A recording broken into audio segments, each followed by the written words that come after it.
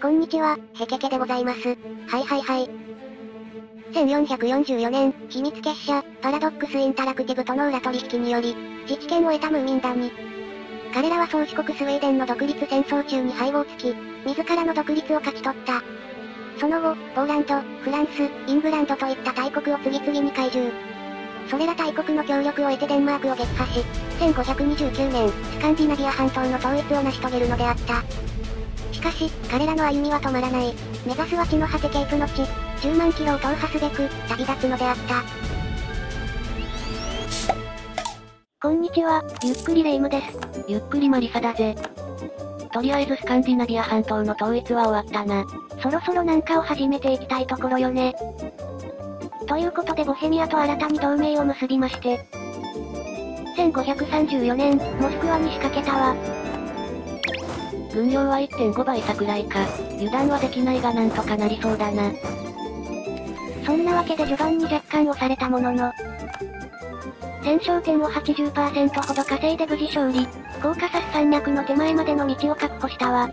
本当に道だな。で、その道の先がどうなっているかというと。こ、これ、塞がってるよな。塞がってるわね、綺麗に。なんてこったー。ということでオスマンとはもう仲良くなれないことがここで決まったわ。オスマンとは戦いとうなかった。まあそれは置いといて、モスクワとの停戦明けを待つ間に、デンマーク、ついでにゴットランドにも宣戦布告。この2カ国をサクッと併合しまして、さらにノルウェーも併合。これで北欧諸国は全て併合したな。そしてモスクワとの再戦前にノブゴロドを解放しまして、1555年、再びモスクワ戦開始。この戦争で同盟参戦してきたチェルケシアから国会までのルートを確保。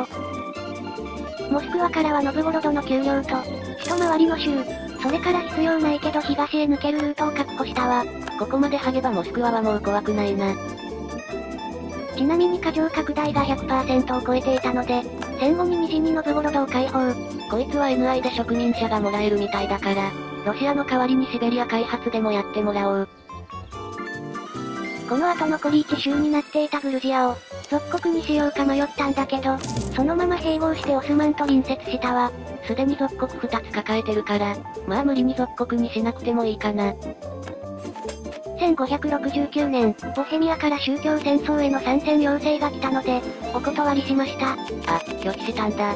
フランス、オーストリアが敵だったからね。その天秤だったらフランスを取るわな。ということでボヘミアとの同盟は切れたわ。1571年、4つ目のアイデア枠を解放したので、軍出を選択。オスマンとやるなら軍出を上げておきたいよな。そして1577年、再びモスクワ戦。ほとんど部隊が残ってないので一方的に蹂躙しまして、29週割譲させたわ。モスクワはあと1戦くらいで終わりそうだな。1584年、オスマン戦を見据えて、強行領。スペインと同盟を締結したわ。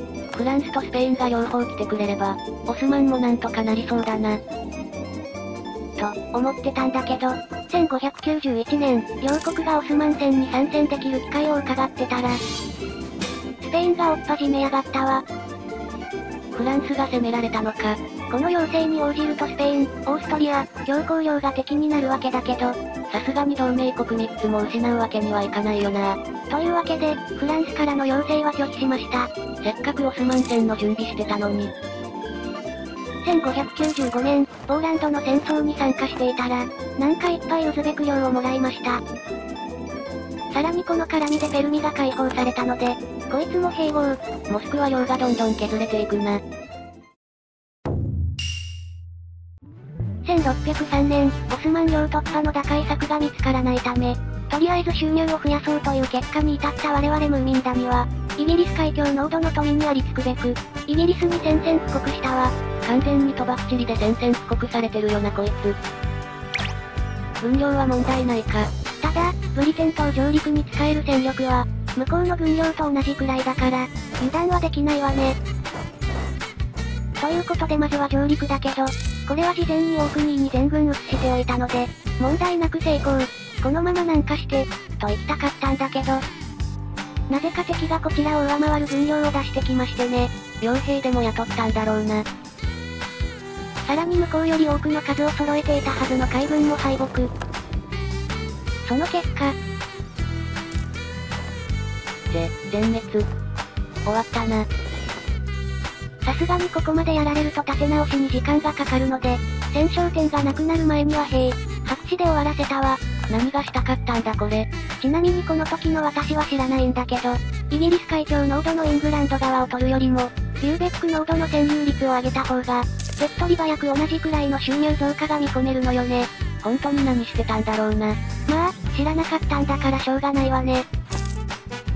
ということで1614年、2度目の大英戦開始。無駄って吹かされて2戦目見るのは、なんか悲しい気分になるんだが。まあその辺は聞かなかった体で見てくれればいいわ。とりあえず分量は、あんまり前回と変わってない感じかな。一応20系ほど部隊を増やしたくらいね。海軍の方もとりあえず数は用意できてるけど、これでもイギリス相手だとなぜか負けることもあるから、油断はできないけどね。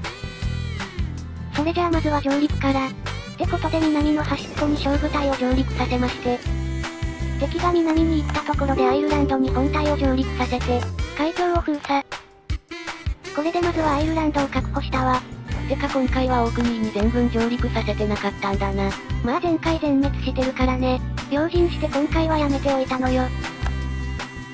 で、ここからアイルランドに敵を引き入れて、敵が占領している間に対岸のエアーシャーを占領。海峡トラップで敵軍をアイルランドに閉じ込める予定だったんだけど、敵の数が多すぎてうまくアイルランドに集まらなかった上に、操作をミスって無謀な上陸戦をしちゃいましてね。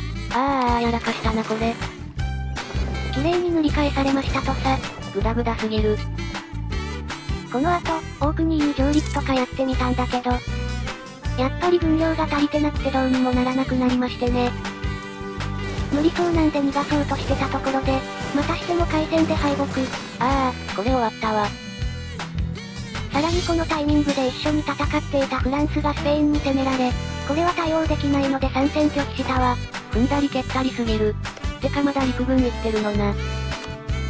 その陸軍なんだけど、操作をミスって30系くらいは殲滅されたんだけど、残りの60系は救出できたわ。まあ致命傷は避けられたか。とはいえ攻め手を失った上に、戦勝点がマイナスで負け講和しかできない状態になってるのよね。この状況だともう負けるしかないだろ。でも相手から攻められてるわけでもないのに負けるのはねということで、モスクワ戦始めました。なぜそうなる？いや向こうから攻めてこないし、モスクワも片手まで叩けるサイズになってるからね。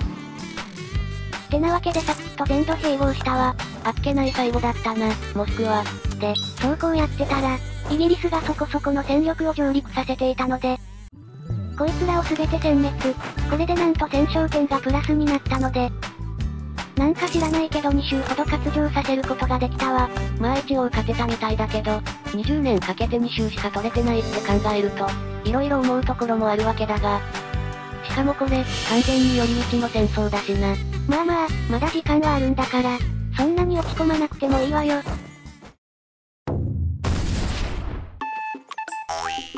ということで、グダグダ回でした。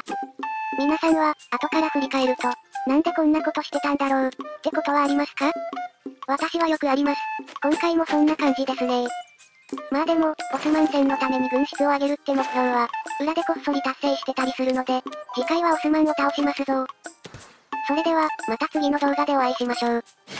バイバイ。